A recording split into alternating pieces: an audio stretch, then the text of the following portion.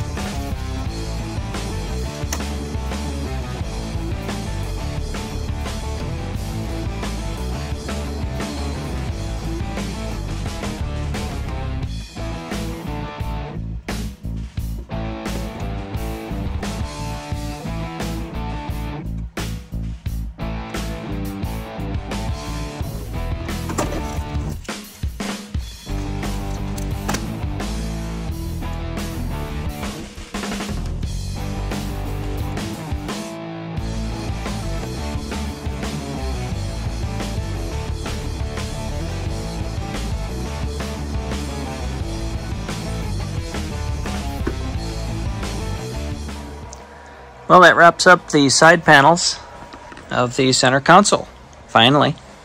So, something I was putting off for uh, such a long time just because I was worried about cutting the tops and getting everything to fit properly, but in the end it fits nice and neat, really, and it's going to be covered by some fabric, so you're not going to see the, there's a little bit of a waviness along the top where I cut that. I think that's going to be covered, and yeah, that's it. So thanks for watching.